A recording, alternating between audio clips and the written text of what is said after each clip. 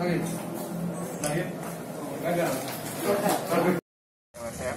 yang selama ini ikut berkontribusi dalam membangun Kabupaten Gresik.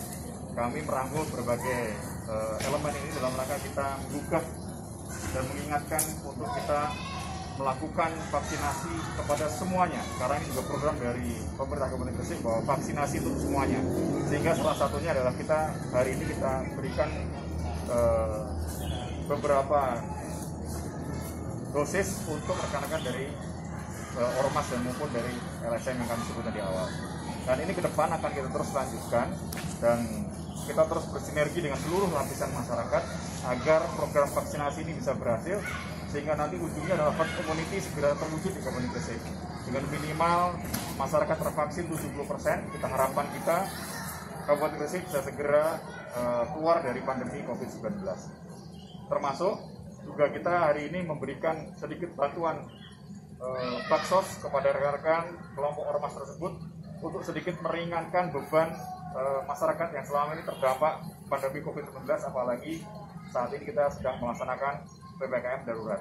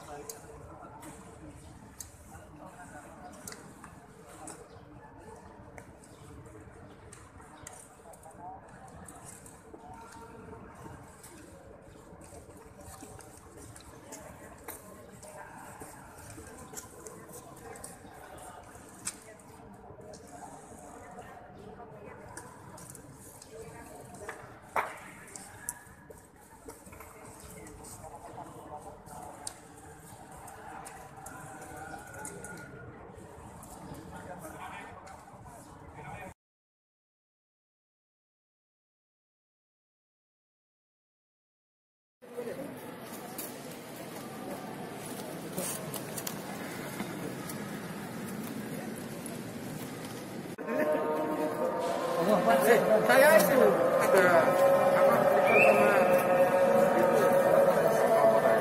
Saya, saya tahan dulu. Iya, saya. Dulu. Dua, tiga. Ini ada sedikit bantuan sosial dari kami, berkenan dan berdoa dan bapak dari teman-teman semuanya. Terima kasih Bapak atas bantuannya Terima kasih Bu.